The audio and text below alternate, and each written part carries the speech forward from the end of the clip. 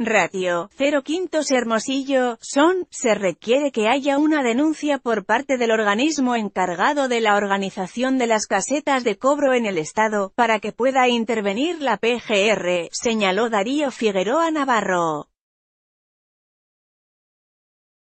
Está por cumplirse una semana de que ciudadanos hartos de los cobros excesivos tomaron de manera simultánea las casetas de cobro, en los municipios de Hermosillo, Guaymas y Empalme, Navojoa, y Ciudad Obregón, dejándolos libre de pago.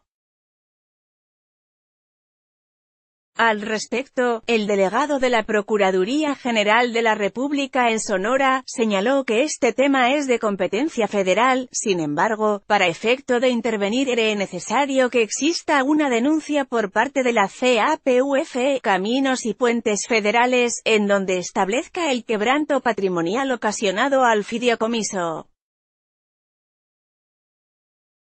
Además de establecer quiénes son las personas que lideran esta causa o bien, identificar a las personas que se encuentran impidiendo el cobro en estas, así como un dictamen de deterioro en la prestación del servicio. Lo anterior, dijo, con la finalidad de estar en condiciones de solicitar audiencia ante el juez de control, y llevar a cabo la solicitud de imputación.